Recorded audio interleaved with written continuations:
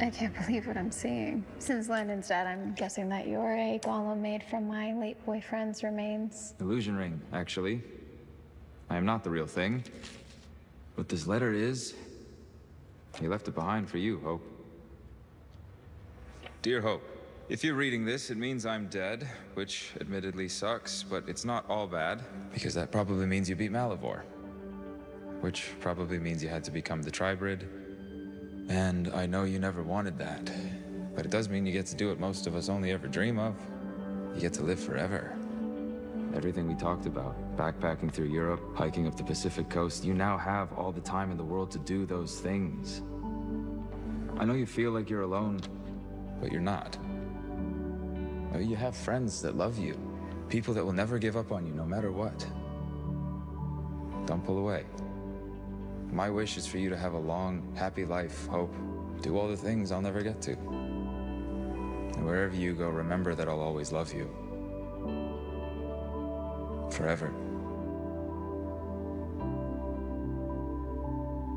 I'm feeling something.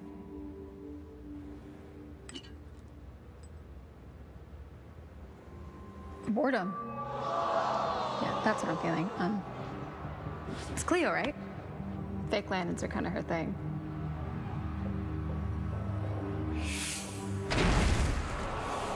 I should thank you. You pushed me to make the transition. But that also means that Landon's death is your fault. Not for all your secrets, this could have all been avoided.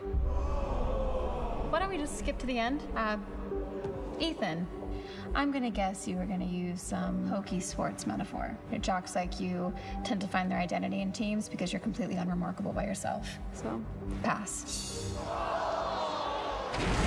you're a Finch. Since Josie won't come out to play. She's on her way. Too bad. Time's up. You can take her place. Josie taught you not to be a lone wolf, which is really just a cover for your codependency.